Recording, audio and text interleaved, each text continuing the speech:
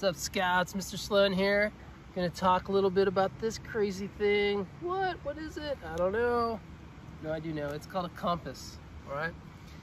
We're gonna talk about how compass works, parts of the compass, how to orient a map, and a few symbols on the map to help you better understand what, what what's going on there. So first of all, how does this compass work? Well, you probably know that there is a magnetic north pole all right? And in the middle of this compass is uh, uh, in the, the housing here, there's liquid, all right?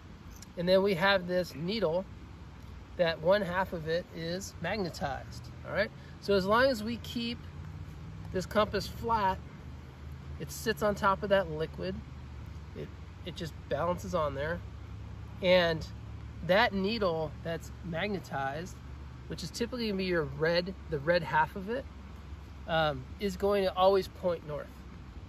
Again, you need to make sure that there's no metal around you or else it's going to throw it off since it's magnetized.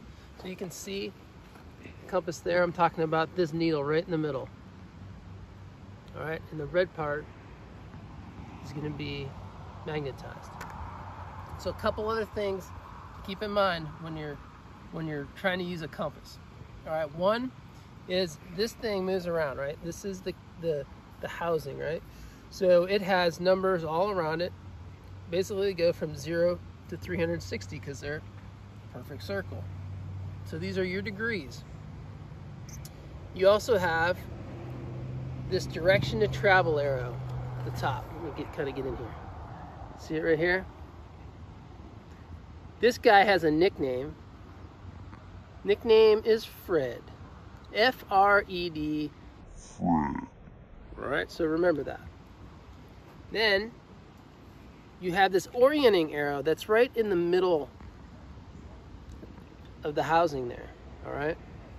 And this red part here of the orient arrow has a nickname too. And that's called the shed. All right, so if I if I turn it up like this, you'll notice that it kind of looks like it's like an empty shed, right? The outline of a shed. Or a really tall, skinny shed. Maybe more like Washington Monument or something. But we're going to call him the shed. This guy, Fred. Keep that in mind. So...